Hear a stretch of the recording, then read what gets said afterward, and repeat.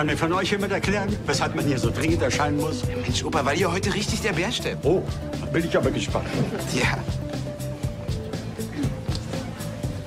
Leo. Na? Oh, hier ist ja richtig was los. Ja, ist ja auch kein Wunder bei dem Programm heute, oder? Heute spielt eine junge Künstlerin, die ihren Song das erste Mal live auf der Bühne präsentiert. Echt? Ja. Wie krass. Ja, ist schon verrückt. Weil wir doch gerade heute davon gesprochen haben, dass das eigentlich dein großer Traum ist, oder? Und wann geht's los? Naja, sobald die Künstlerin dafür bereit ist. Ah, du. Ich.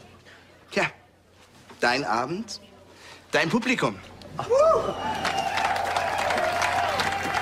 Nee, das kann ich nicht. Jo, jetzt bleib doch mal hier. Na klar kannst du das. Und woher weißt du das? Weil, naja, ich kann auch alles. Ich kann alles seitdem, seitdem wir zusammen sind. Mensch, Leo, du schaffst das, okay? Jetzt entspann dich. Tief einatmen, ausatmen. Okay. Ich sitze da hinten, okay? Los.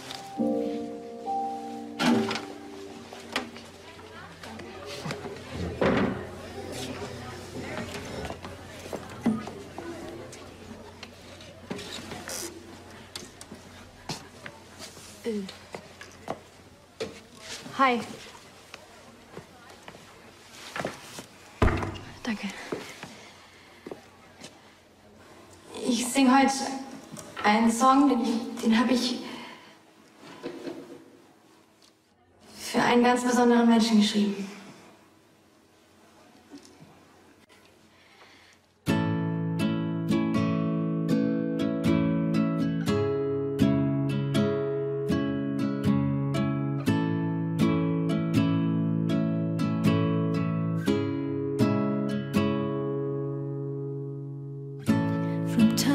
Time you look me in the eyes, and seconds feel like days.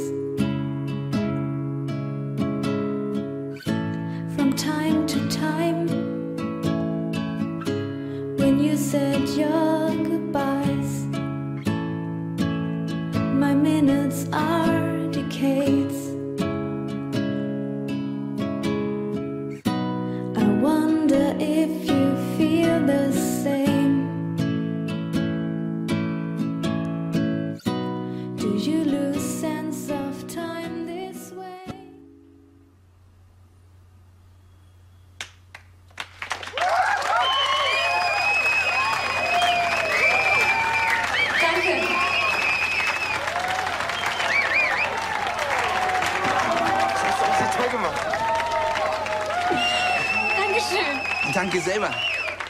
Ich habe ich hab vor einer halben Stunde meine Bewerbung für die Pilotenausbildung abgeschickt. Du solltest sie hier noch öfter spielen lassen, bevor du sie nicht mehr bezahlen kannst. Hammer Stimme, oder? Hallo Christian. Ah, hey, Frank. Bist du dienstlich hier? Ja, leider. Äh, sagen Sie, bei Ihnen wohnt zurzeit eine Leonie Richter, stimmt das? Ja, äh, gibt's ein Problem? Wir möchten Ihnen nur ein paar Fragen stellen. Wissen Sie, wo wir Sie finden können? Oben in Ihrer Wohnung ist sie nicht. Ja, sie hatte gerade ihren ersten großen Auftritt. Wahrscheinlich ist sie bei ihrem Freund. Timo Mendes. Ja. Und den finde ich wo? Naja, der wohnt mit seinem Vater auf Königsbrunn. Super, danke. Was ist denn überhaupt das Problem? Tut mir leid, Sie werden verstehen, dass ich Ihnen das nicht sagen kann. Tschüss. Tschüss, wir sehen uns beim Training. Tschüss. Tschüss. Die Fritsche, es war die dümmste Idee aller Zeiten. Hm, Ausgerechnet Fritsche mit diesem Spicker loszuschicken. Das nächste Mal mache ich selbst. Oh, das reinste Vergnügen mit den Studenten. Oh ja. Und Charlie hat das alles gewusst? Ja, wozu hat man Freunde? Ja, dafür, dass man sich vor ihnen in Acht nimmt. Also, wenn ich aufgeflogen wäre, hätte ich mir die Prüfung an den Hut stecken können. Obwohl der Professor, da wollen wir uns mal nicht täuschen, uns sehr wohl hätte auffliegen lassen können. Weiß der Teufel, warum er es nicht getan hat. Ja, Andi, glaubst du im Ernst? Er hat unser Affentheater nicht durchschaut? Hast du eigentlich überhaupt irgendwas geschrieben? Dein idiotischer Stromausfall.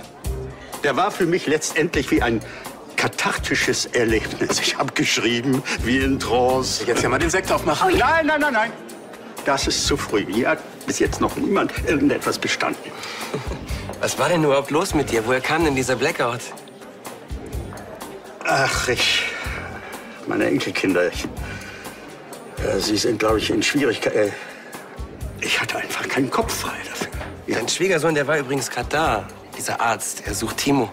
Timo? Wieso das denn? Ich habe Timo gesehen und dieses Mädchen. Was? Warum hast du das nicht schon eher gesagt? Ja, ich weiß doch, wie das ist, wenn man keinen Bock auf seine Eltern hat. Ja, Auf jeden Fall hatten die so Rucksäcke an. Ich glaube, die wollten verreisen. Entschuldigt mich. Hätte den Arno echt mal sehen sollen. Der war immer noch völlig fertig, weil wir ihm den Spickzettel untergejubelt haben. Dabei lief das echt wie geschnitten Brot. Ja, weil er Glück hatte. Echt dich als Handwerker in die Uni einzuschleichen und mitten in die Prüfung zu platzen. Woher hast denn die bekloppte Idee? Kann doch nicht alles so spießige Spaßbremsen sein wie du. Leute, ich hab Hunger. Ah, hat jemand Bock auf Pizza? Bin dabei. Hey, okay, dann. Du rufst an und du schreib's auf. Also, ich hätte gern eine Pizza mit äh, Garnelen, Brokkoli, extra Käse und äh, Schinken. Und einmal Pizzabrötchen, bitte. Für mich die Pizza mit Sardellen und Tomate. Hm, Dann hätte ich gern einmal Quattro Stagione mit extra Mozzarella, bitte. Quattro was? Quattro Stagioni. Vier Jahreszeiten? Was ist denn da drauf? Du alles mögliche. Artischocken, Schinken, Oliven. Ist ja auch völlig egal, oder? Schreib's einfach auf. Oder willst du eine Zeichnung malen? Also das bisschen kann man sich ja wohl merken, ne? Aber mach dir nichts draus, wenn du das nicht kannst. Für einen Doktortitel muss man auch nur abschreiben können. Äh, du bist dran, Süße. Ja. Ich hab Hunger. Jetzt mach schnell, sonst weiß ich nicht mehr, was ich tue. Dann Spinat und Mozzarella. Na, endlich.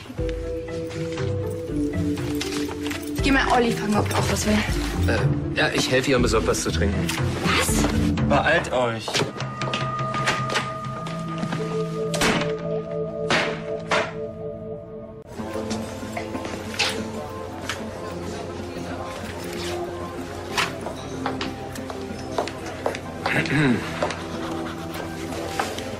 Was? Ich dachte nur, ich. Ich würde dir gern helfen, wenn ich dürfte. Ich weiß, es war eben total unsensibel von mir, es so anzusprechen, aber. Sag mal, soll ich's dir buchstabieren? Ich kann lesen und schreiben.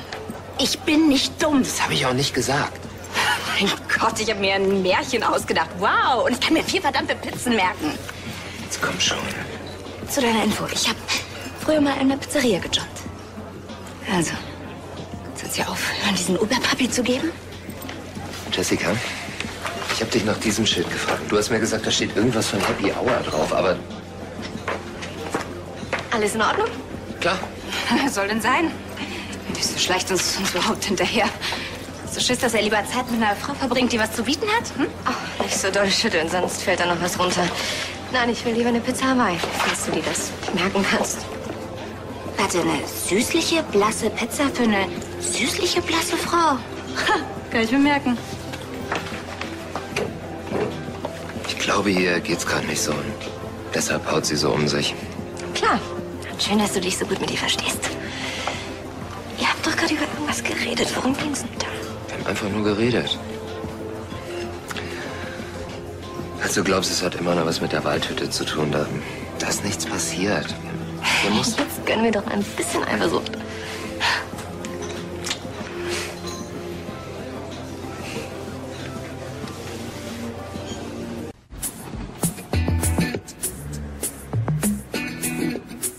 Jessica. Jessie.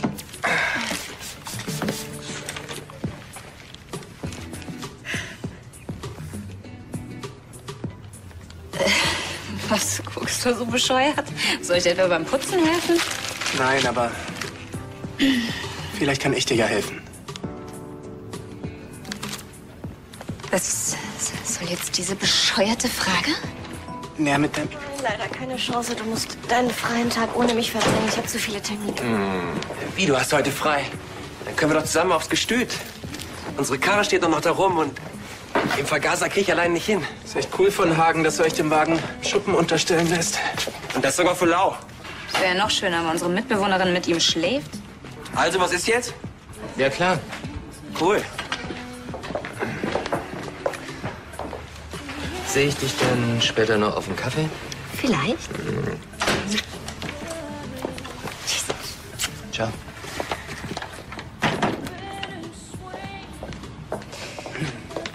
Kannst du mal aufhören, hier rumzuposaunen, dass ich nicht richtig lesen kann? Olli hat mich gerade angeschaut, als wäre ich bescheuert. Das habe ich doch gar nicht. Gut.